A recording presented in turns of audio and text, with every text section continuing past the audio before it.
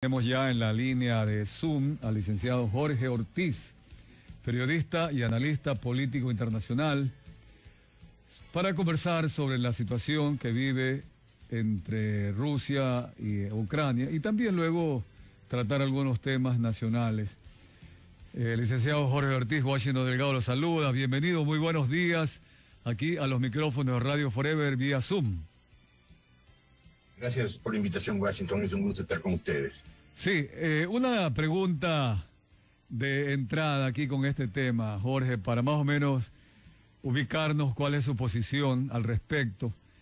¿Cómo califica o categoriza la situación Rusia-Ucrania? ¿Es una guerra entre dos países o es una invasión de Rusia contra Ucrania? Y dentro de esta segunda alternativa, ¿Es nada más una posición de Vladimir Putin o de un ideario ruso de su equipo que lo acompaña? Lo escuchamos, Jorge.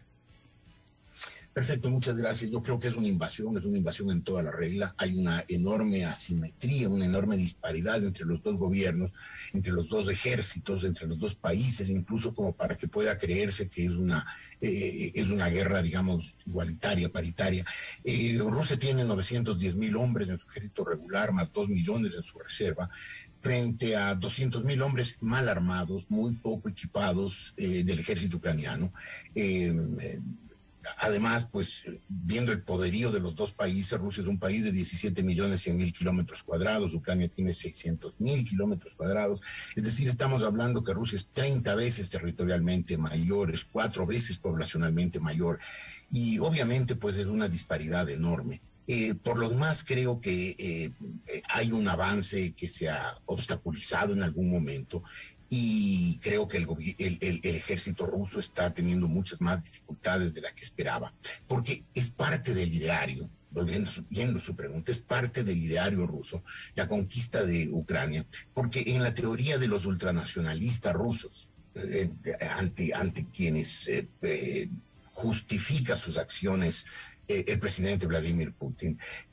Ucrania pertenece a Rusia, son parte de los pueblos eslavos del norte que ellos ven como siempre perteneciendo a Rusia. Eh, cuando se formó a finales del siglo XVI, cuando el, el, zar, perdón, el, príncipe de Moscú, que era eh, Iván IV, Iván el Terrible, se proclamó zar, César, heredero del imperio romano de todas las Rusias, sintió que en esas todas las Rusias estaba incluido obviamente Ucrania. Y en el relato del nacionalismo ruso, eh, Ucrania pertenece, es una de las muchas rusas, de Rusias, o sea, de los muchos ruses, los establecimientos originales, eh, y por lo tanto eh, el pueblo ruso y el pueblo ucranio son un mismo pueblo. Es, una, es un relato fantasioso, ultranacionalizado, en el que la historia no les da ningún soporte. Es, es una invasión en toda la regla a un país y a un pueblo extranjero. Jorge, dentro de esta circunstancia, pregunto, ¿cómo entender la posición del mundo en general? ¿Cómo entender la posición de Occidente cuando Vladimir Putin pone tres condiciones a Ucrania para no masacrarlo? Primero, que ya acepte definitivamente que Crimea es rusa, que le dé la independencia a dos zonas prorrusas y finalmente le obliga a que no se asocie a la OTAN es decir, que no ejerza su soberanía, su libertad. El temor, y he leído que inclusive hablan hasta psicólogos, dicen que posiblemente el Vladimir pues, Putin esté loco, que pueda aplastar el botón y declarar una tercera guerra mundial, por eso Occidente no interviene. Pero mientras tanto se está dejando que a Ucrania se la masacre, Jorge. ¿Cómo entender esta situación del mundo entonces? Eh, habría que entenderlo por el peligro real, por primera vez, creo yo, de, una, de, una, de un enfrentamiento nuclear. Creo que a lo largo de, la, de toda la Guerra Fría no llegó a haber un momento de tanto peligro de una conflagración nuclear como ahora, tal vez en octubre de 1962, cuando hubo la crisis de los misiles en Cuba. Pero de ahí en adelante los Estados Unidos y la Unión Soviética, la OTAN y el Pacto de Varsovia aprendieron a convivir en confrontación sin guerra, sin guerra caliente. Pero este momento sí hay el riesgo de que algún momento Putin pues apriete el botón, porque parecería que Rusia ha desarrollado o está desarrollando armas nucleares tácticas, es decir, armas nucleares de, de, corto radio de acción, de corto radio de destrucción, o sea, no unos grandes artefactos atómicos estratégicos, sino bombas tácticas. No se sabe si las tienen y si las usarán, pero hay el riesgo de que quieran usarlo. Y obviamente el Occidente, la OTAN, tiene que tener cuidado de no generar ninguna situación que le diera pretexto a Putin para un ataque. Yo creo que Putin no está loco, yo creo que es un nacionalista fanático y los fanáticos siempre son peligrosos, pero es un hombre muy cuerdo, es un hombre muy frío, que incluso su formación como espía de la KGB lo hizo un hombre misterioso, un hombre eh, muy analítico, y yo creo que él eh, analizó bien antes de meterse en, en, analizó bastante, debería decir, antes de meterse en la guerra. El problema es que no analizó bien, analizó mal. Creyó que iba a ser una victoria fácil porque creyó que Ucrania, la gente en Ucrania saldría a recibirlos como vencedores. Yo creo que el Occidente está haciendo hoy lo que puede, entregar, entregar armas básicamente defensivas a Ucrania es decir, misiles, misiles de tierra, misiles antitanques, misiles antihelicópteros, misiles antiaviones, para tratar de, impedir el, el, avance ruso. En todo caso, el momento que Rusia decida lanzar todo su poder de fuego, creo que la conquista de Ucrania será inevitable. Pero el costo político de esta, de esta guerra es muy grave para Rusia. Cada día que pasa, y hoy se cumplen cuatro semanas, eh, es, es un, un, día más de desgaste en el prestigio, en la credibilidad de Rusia. Ya ni siquiera los, los aliados obvios de Rusia, que son la extrema derecha, y la extrema izquierda. Muchos de los líderes de los partidos racistas y, fascistas de Europa, que al principio lo apoyaban a Putin, hoy están mucho más cautos, diciendo menos cosas. las dinastías gobernantes, las tiranías de Siria y de Corea del Norte, que también lo apoyaron al principio entusiastamente, están cada día más silenciosas. Los socialistas del siglo XXI, no nos olvidemos que Rafael Correa fue empleado de Putin en, en, en RT, en, en Today, eh, que al principio pues dijeron, dieron eh, explicaciones, justificaciones de la invasión rusa, están cada día más callados. Y el resto del mundo, el que repudió desde el comienzo la invasión, está cada día más indignado con esta invasión.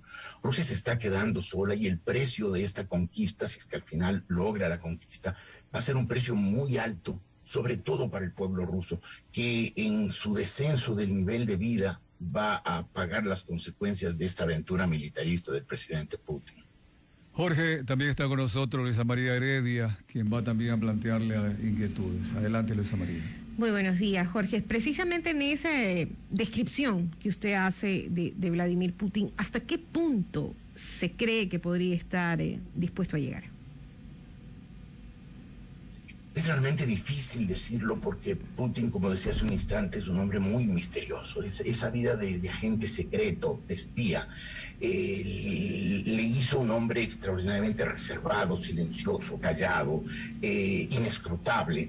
Y no se sabe por dónde quiere ir, hasta dónde quiere ir. Al principio parecía, cuando empezó la, el, ataque ruso contra Ucrania, parecía que su objetivo era simplemente tomarse eh, Kiev eh, descabezar al gobierno, matarlo, eh, poner un gobierno títere como lo hizo tantas veces durante todas las ocupaciones que hizo en la época soviética, desde 1939 cuando tocó Polonia y Finlandia, hasta, hasta, hasta el final de la Segunda Guerra Mundial, cuando el Ejército Rojo ocupó media Europa.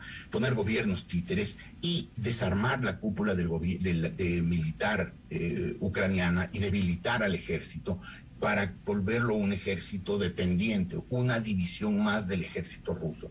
Pero a medida que van pasando los, días, esa estrategia inicial parece disolverse. Parece que van contra Kiev, en efecto, contra la capital, y van contra el gobierno del presidente Volodymyr Zelensky, pero también parecería que quieren asegurar eh, la península de Crimea eh, creándole un, un, corredor terrestre que lo una con el Donbass, las dos provincias sucesionistas. Después parece también que quieren tomarse toda la costa del Mar Negro, para, perdón, primero del Mar de Azov, para dejarle a, Ucrania con una capacidad de exportación muy baja y después incluso que quisieran tomarse toda la costa del Mar Negro hasta llegar al extremo occidental, a la ciudad de Odessa.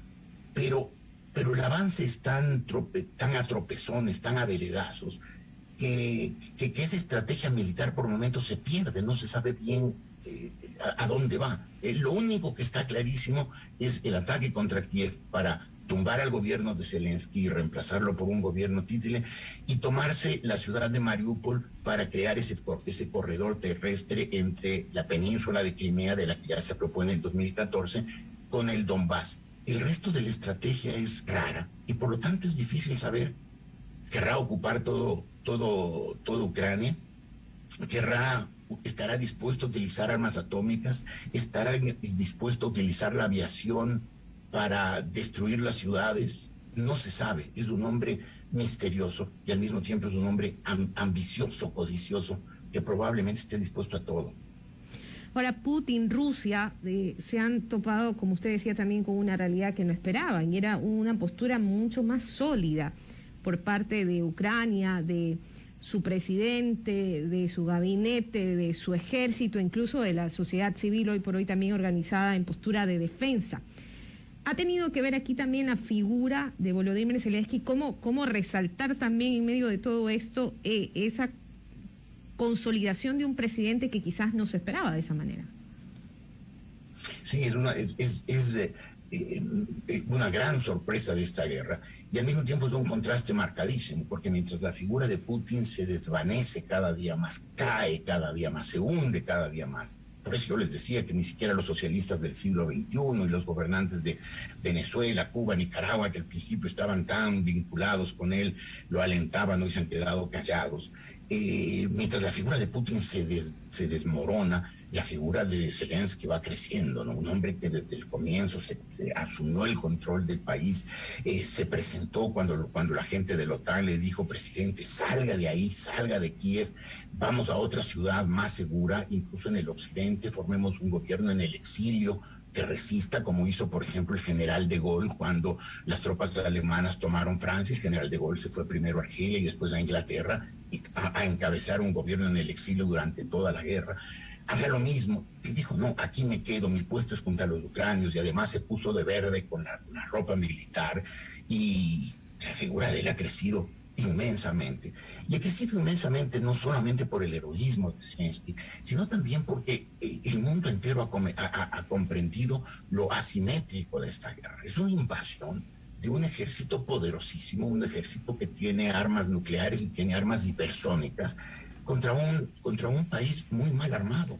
Cuando en 1991 se disolvió la Unión Soviética, Ucrania, que era uno de los países de una de las repúblicas de la Unión Soviética donde había armas nucleares, decidió ser un país desnuclearizado y entregar sus armas nucleares a Moscú.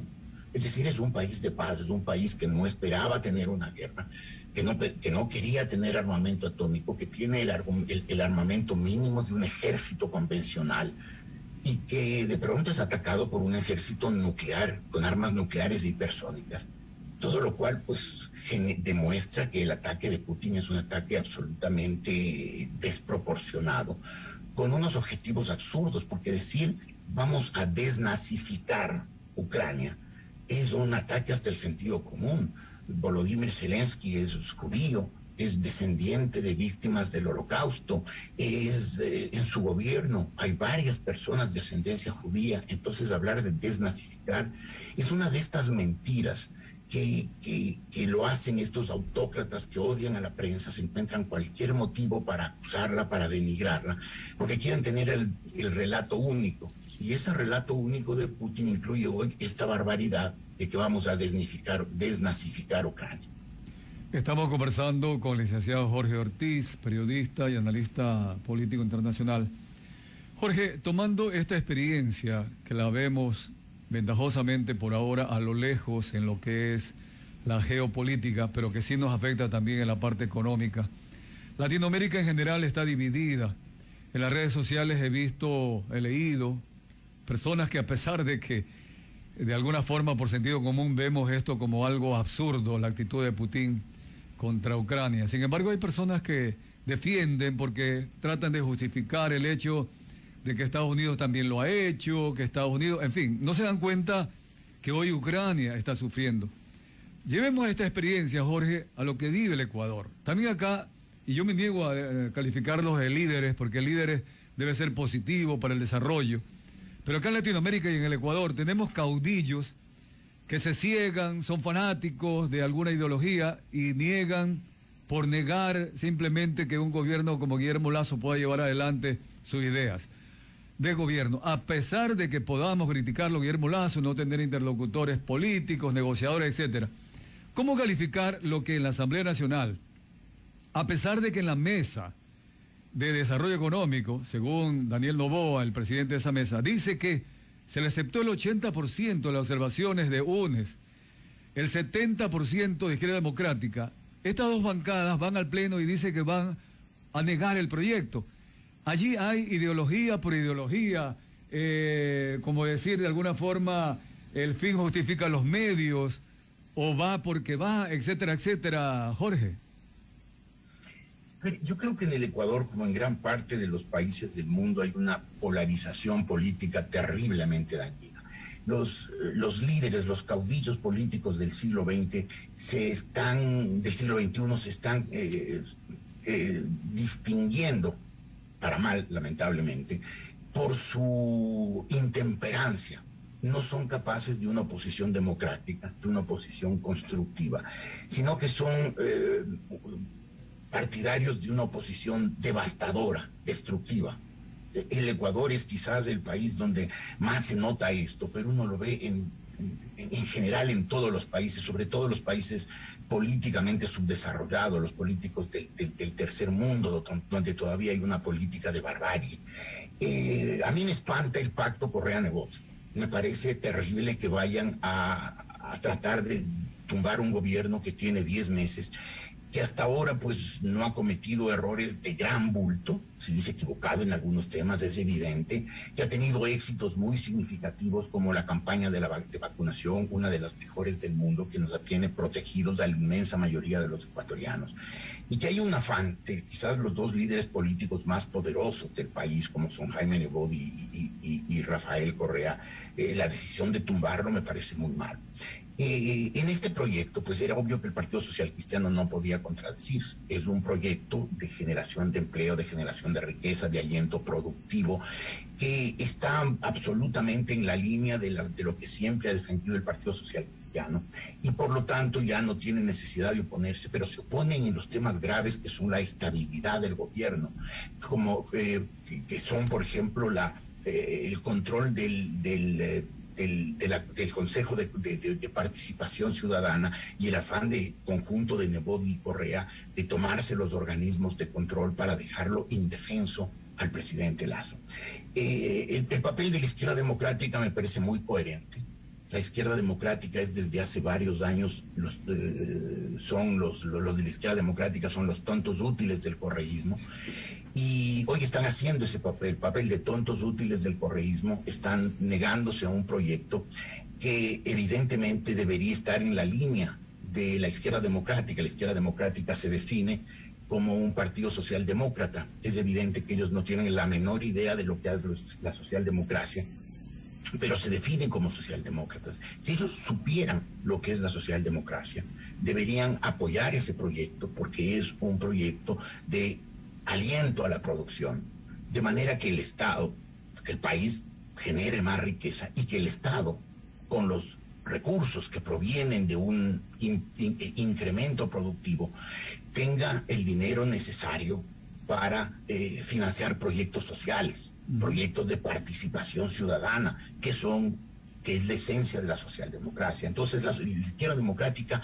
muy coherente con su papel de tontos útiles. Pachacuti lamentablemente está, está encabezada, el, líder más fuerte es el señor Isa, un hombre que se, que se declara pues eh, comunista indoamericano, que quiere, como lo dijo como el título de su libro, que quiere un estallido, que, quiere llevar al país a un estallido social para reemplazar el, la estructura política del Ecuador actual por un comunismo indoamericano que quién sabe qué entienda el señor Isa por eso. Pero lo dramático es que detrás de él, o con él, o junto a él, está en el señor Lazo y el, señor Correa y el señor Nebot. Yo creo que el afán de ellos de derrocar, de, terminar eh, encontrando algún motivo para sacar del gobierno al presidente Lazo me parece perverso. El Ecuador hoy más que nunca, más que nunca por la crisis económica producto de la pandemia, requiere estabilidad, requiere tranquilidad, requiere un ambiente de sosiego para que el país pueda trabajar, invertir, recuperarse. Y ver que hay una conspiración en marcha me parece tremendo, me parece inexplicable, me parece que la historia tendrá que ser y será sumamente duro con estos caudillos que se han aliado no solo contra el señor Lazo, sino contra la recuperación del país y contra la estabilidad de la democracia. Luisa María. Y en ese sentido también eh, con, esa figura bastante clara, ¿no? Una intención que cada participación del Pleno, cada discurso público realmente se evidencia, una postura rotunda hacia el no de, cualquier tipo de planteamiento que venga de parte del Ejecutivo. ¿Qué vías hay con un gobierno que ha dicho vea la muerte cruzada como una última opción, pero que a su vez dice que tiene también otras ideas que luego va a dar a conocer, que en 48 horas va a poder gestionar apoyos que no ha conseguido en todos estos meses de gobierno? No va a poder conseguir en, 48 horas, probablemente ni en 48 días, eh, los apoyos que no ha logrado hasta ahora. Eh, eh, además, en estos 10 meses el país se ha polarizado, las, las fuerzas en el Congreso se han radicalizado, se han, se han vuelto terriblemente agrias, dispuestas a, hasta a lo peor. yo creo que el presidente Lazo es un hombre que conoce muy bien el Ecuador económico, por eso le fue muy bien en sus negocios personales y por eso está administrando aceptablemente bien la, economía para tratar de lograr una recuperación. Por, por eso puso, pudo desarrollar una campaña de vacunación eficiente y rápida, pero no conoce el Ecuador político. Él no es un hombre que, entiende los ritmos, las, las características, los, los laberintos de la política. Y por lo tanto él no se dio cuenta que en todos nuestros países y muy singularmente el Ecuador, los gobiernos tienen muy pocas semanas, sus primeras semanas, para hacer cosas. Y cualquier decisión difícil hay que tomar en las primeras semanas. Desde, que antes, desde antes de que él se posesionara como presidente, eh, hubo muchas voces que se levantaron diciéndole que hay que ir rápidamente a una consulta popular, que incluya incluso la derogatoria de ese mamotreto, de ese de ese dogal para el país que es la constitución de Montecristo. O por lo menos cambiar algunas de las estructuras básicas del correísmo tan perversas que nos dejaron entre ellos del Consejo de Participación Ciudadana. Incluso a quienes le dijeron, vayamos a la muerte cruzada vamos a una elección en la que el partido de gobierno y los partidos afines tengan suficiente votación de manera que el presidente Lazo tenga un Congreso que le apoye o por lo menos que le haga una oposición democrática, no un Congreso que lo quiera tumbar todos los días, que le esté tratando de causar dificultades y desestabilizar. El presidente Lazo no se dio cuenta. Él estaba viviendo una especie de luna de miel con el país, porque donde iba le aclamaban por el éxito de su campaña de vacunación. Y fue postergando y postergando. Hoy estamos en un momento en que la muerte cruzada parece una roleta rusa es una, es una pistola donde hay un, un, arma, en el, una, una, bala en el cargador que se la puede disparar en la sien el presidente Lazo.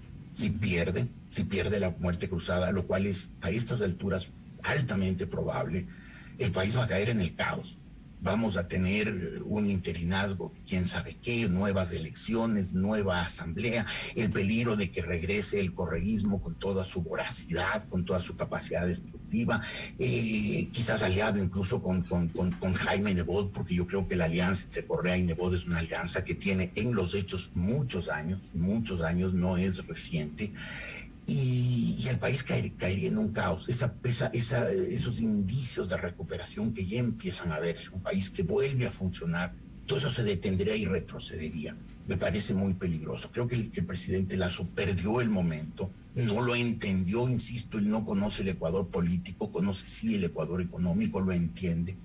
Y en este momento le veo muy pocas salidas. Creo que deberíamos tener una opinión pública muy activa muy activa, exigiéndole al Congreso un comportamiento decente, democrático. Creo, por ejemplo, que la gente, los votantes del Partido Social Cristiano, los dirigentes de base del Partido Social Cristiano, incluso los dirigentes de buen nivel, incluso legisladores, alcaldes, prefectos del Partido Social Cristiano, deberían increparlo al alcalde Nebo, decirle tu odio personal por la razón que sea, a lo mejor muy justificado, contra Guillermo Lazo, no puede condicionar a un partido que tiene muchas semejanzas, muchas coincidencias con, este gobierno. Debería el Partido Social Cristiano apoyar a este gobierno no incondicionalmente, con, poniéndole condiciones, por supuesto, pero apoyarlo y no estar eh, eh, pactado con, Correa, pensando en que el momento que el señor Isa encuentre un pretexto para generar turbulencias, como la que hubo en julio del, eh, perdón, en octubre del 19, que trató de incendiar Quito y atacó a Ambato, eh, se presente una turbulencia de ese nivel y ese momento Correa y Nebot mover su gente en el Congreso, decir que hay una situación dramática de convulsión interna, y tumbarlo al señor Lazo y meter al país en una, en una incertidumbre total. Me parece que, que, le quedan pocas opciones políticas al, al, gobierno. A lo mejor va a tener que jugarse el todo, el todo en, el, la muerte cruzada con el riesgo de perder. Precisamente, y para concluir, Jorge, el panorama está claro, ¿verdad? La muerte cruzada, lo acabas de decir, es una ruleta rusa en la situación que vive hoy políticamente el presidente Guillermo Lazo podría perder la presidencia. Y al parecer, voy a agregarle, eh, hemos visto que la Asamblea Nacional con UNES y Pachacuti Radical están como provocando al presidente de la República. Lo han desafiado varias veces. Lo ha hecho eh, eh, Salvador Quispe y también Ronnie Aleaga. Y las tres causales del artículo 148 están allí, ¿no? La obstrucción de la aplicación del plan de desarrollo del gobierno, arrogación de funciones constitucionales cuando aprueban leyes, por ejemplo, elevación de salarios a los profesores sin tener fuente de financiamiento, que constitucionalmente lo obliga, y provocar una crisis política artificial y conmoción interna. Ante esta situación, ¿qué hacer, asumiendo que el Partido Social Cristiano sí va a apoyar este proyecto de ley?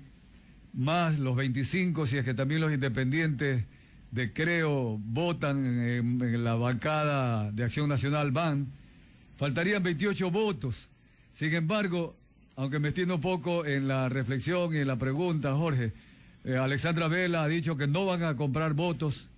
El presidente Guillermo Lazo dijo ayer en la cadena de radio, dijo que no va a compartir el plan B y finalmente Carlos Gijón dijo que van a gobernar sin esa ley. ¿Cuál es la salida que tiene Ecuador? Eh, definitivamente vivir con esta situación grave, muerte cruzada, pegarse el tiro en la sien. Eh, Jorge. Es, muy complicado, ¿no? Eh, sin, esa, sin esa ley es evidente que Guillermo Lazo no va a poder cumplir sus anhelos, sus metas en el tema económico el tema, eh, la, la, recuperación económica, la apertura del Ecuador a una economía más competitiva, más abierta al mundo, más generadora de riqueza y de empleo, pues pasa inevitablemente por esa ley. Hay que cambiar algunas leyes que convirtieron a un país en el que la inversión siempre está dificultado dificultada, en que no es fácil invertir, en que hay demasiada regulación. La desregulación y la, y la flexibilización laboral son elementos indispensables, inevitables para una recuperación económica del país y lo vemos a nuestro alrededor en América Latina, los ejemplos abundan. Los países que han creado más regulaciones son los países que tienen las economías más aplastadas, mientras que los países que han desregulado y han facilitado la inversión, la contratación, son los países que tienen mejores índices económicos y han mejorado el nivel de vida de la gente. Entonces, yo no entiendo cómo alguien del gobierno puede decir, si es que no pasa esa ley, gobernaremos en esa ley. Y eso no será gobernar, eso será flotar en el agua sin rumbo. Será eh, pasarse tres años y dos meses como gato panza arriba tratando de dar manotazos para evitar que los tumben. Eh, es evidente que el Partido Social Cristiano no le importa votar a favor de esa ley, primero porque es coherencia y después porque esa ley está perdida. Aún con los votos socialcristianos eso no pasa. Igual que los socialcristianos no apoyaron las amnistías porque igual sin sus votos las amnistías estaban concedidas. Pero en los temas políticos de fondo, los temas que le dan estabilidad al gobierno, que le permiten gobernabilidad, que le permiten manejar el país, administrarlo, de acuerdo al mandato que recibió el presidente Lazo, siempre los votos socialcristianos están unidos a los de UNES, están unidos al correísmo y están unidos al sector comunista de, de. Eso es lo trágico, que hay una alianza a mediano plazo que va a tratar de tumbarlo a Lazo. No hay un, no hay un afán de cambiarle el rumbo, de hacerle que enmiende sus errores, de que, de que corrija ciertos, ciertas decisiones. No, hay un afán de tumbarlo es evidente, por ejemplo, en el afán de, de, apoderarse de los organismos de control, que lo que quieren es maniatarlo al presidente Lazo y tener un Congreso en el cual el presidente Lazo no pueda aprobar ni un solo proyecto de ley. Evidentemente Lazo se equivocó, insisto, no es un hombre con buen ojo político y no se rodeó de un equipo de gente sagaz, hábil, eh, que, le, que le dé un sustento político, no tiene operadores políticos, no tiene eh, analistas políticos de peso y por lo tanto el gobierno ha cometido muchísimos errores políticos y hoy yo siento que está en encrucijada, yo siento que le van quedando pocas salidas. Eh, yo creo que el gobierno tiene que pensar muy hondamente en la posibilidad de muerte cruzada si quiere en realidad ser gobierno, si quiere que el presidente presida tiene que, tiene que tener poder. Si lo que quieren es que el presidente simplemente ocupe la silla de Carondelet tres años más, que probablemente ni siquiera lo logre, pueden, pueden evitarse la muerte cruzada, pero el gobierno debería poner a trabajar ya a su equipo de comunicación, a informarle al país de los éxitos, algunos que ha tenido este gobierno, y sobre todo denunciar al país la maldad de la conspiración la maldad de un intento por tumbar al gobierno por rencillas personales en unos casos, por la ambición de volver en otros casos, rencillas personales de negocio afán de volver al país eh, libres de todo problema los correístas y un radicalismo extremo comunista de los pachacutics. Debería denunciarlo al país, debería ser una campaña de información. Lamentablemente el equipo de comunicación del gobierno es, eh, yo, yo, yo tenía dudas de decir si es malo o es pésimo. No, es pésimo, es pésimo porque es inexistente. Y a lo mejor, si es, que se, si es que pone a trabajar un equipo de comunicación, si es que logra un cierto reconocimiento por parte de la opinión pública, el gobierno puede lograr lanzarse a la, consulta, a la, a la muerte cruzada con alguna posibilidad de éxito.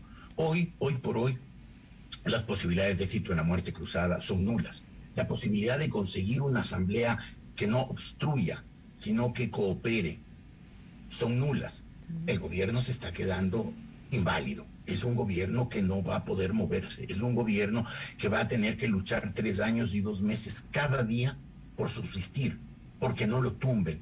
Y me parece que ese es un destino muy malo para un gobierno, muy malo para un presidente y muy malo para un país que necesita recuperación. Así es. Bueno, muchas gracias, el licenciado Jorge Ortiz, periodista y analista político internacional. Hemos concluido con conociendo la posición y las opiniones de Jorge. Muy amable, Jorge, un abrazo, muchas gracias. A ustedes desde Washington, buenos días. Gracias por la entrevista.